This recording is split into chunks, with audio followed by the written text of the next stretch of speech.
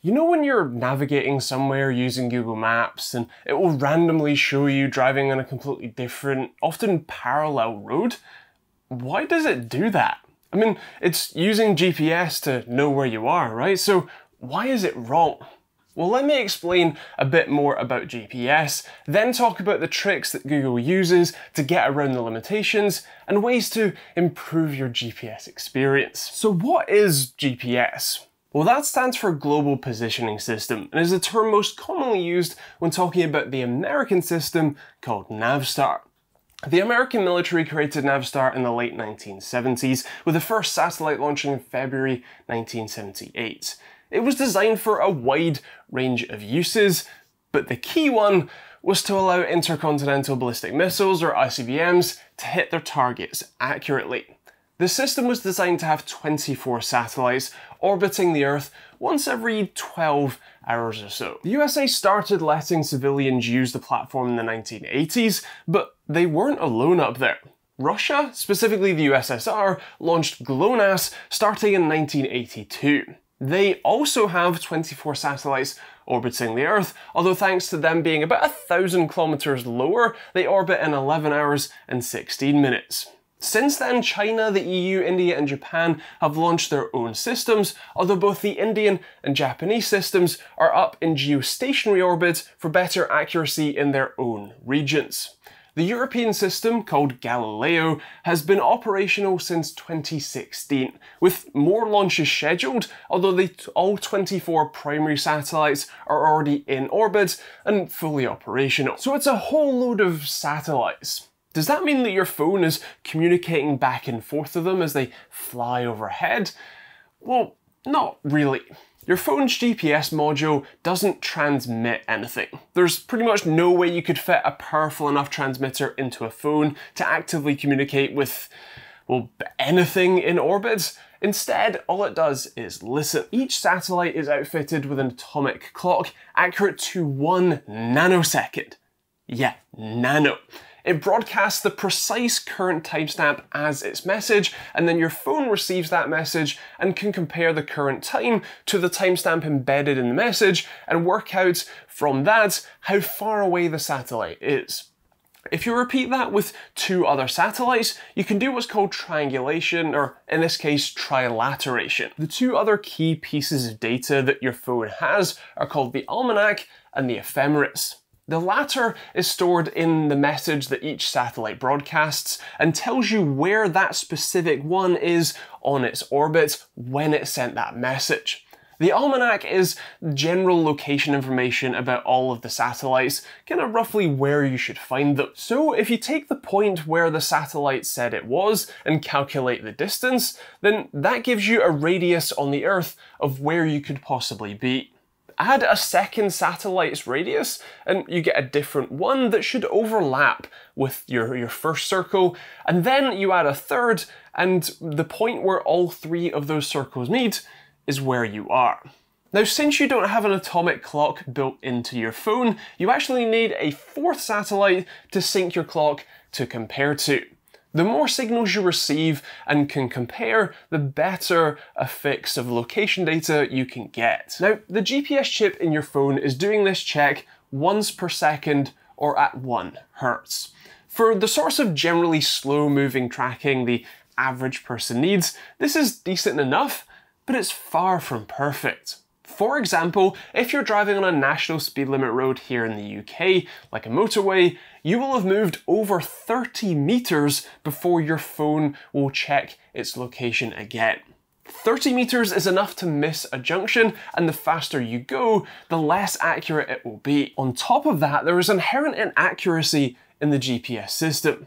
It's only accurate to within 5 meters as standard, although enhanced units can be accurate to up to 30 centimeters.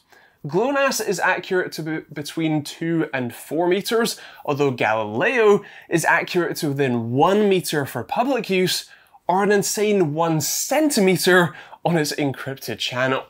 Either way, you're likely to be between 1 and 5 meters off, hence why Maps regularly shows a circle around your location until it can get a confirmed fix. So if Google Maps is only getting location updates once per second, and those updates can be up to 5 meters off, how does it work as well as it does? The short answer is data. Google is a data company. They have a whole lot of it and they leverage it to make maps better. That starts with data from your phone's accelerometer.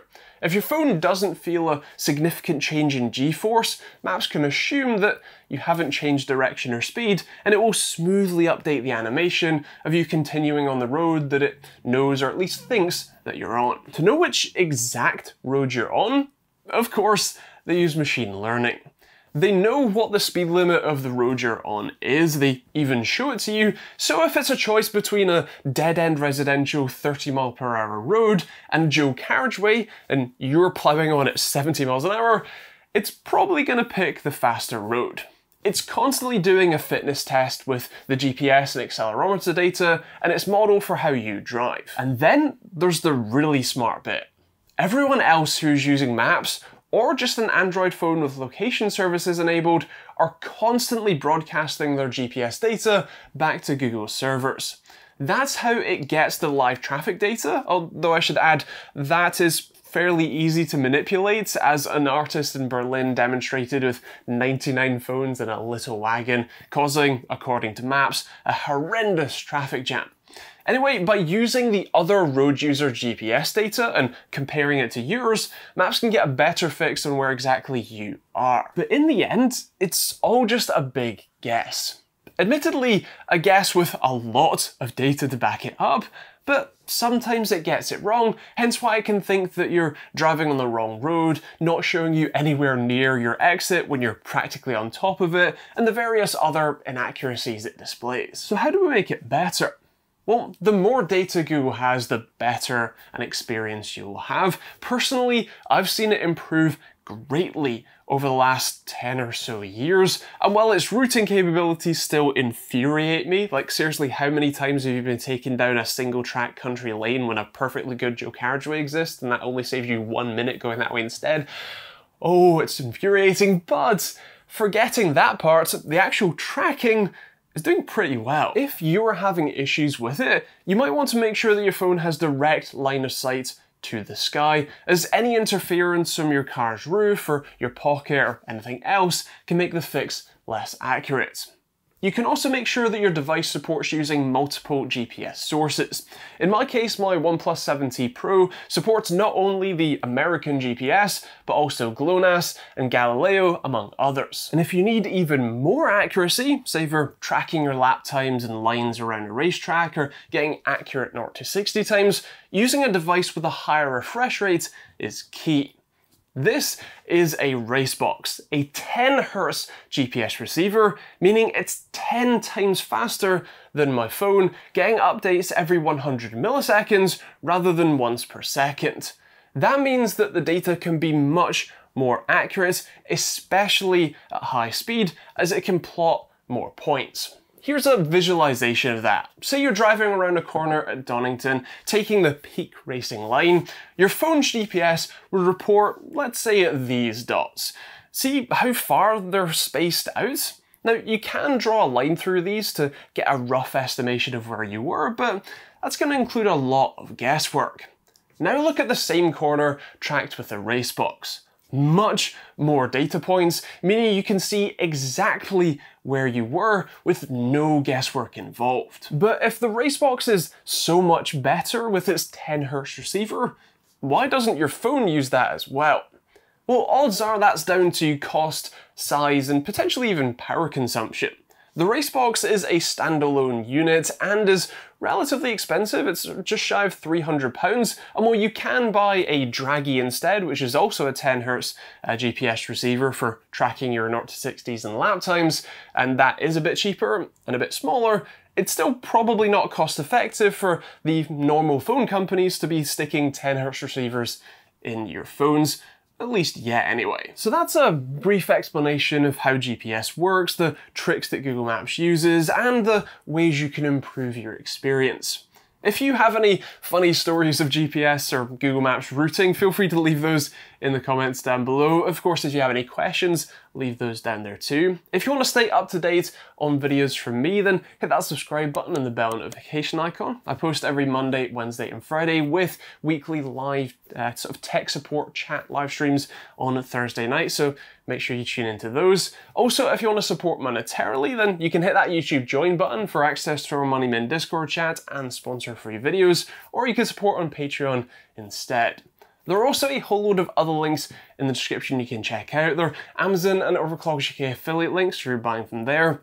There's merch or hoodies or t-shirts like this one or a load of other cool designs. And there's stuff like VPN options, Humble Bundle and Streamlabs OBS, so feel free to check them out. I'll leave the Tech Explained playlist on the end if you want to learn more about the tech that we use on a pretty daily basis. And otherwise, hope you enjoy the video. Feel free to have any, uh, leave any questions you have in the comments down below. We'll see you on the next one.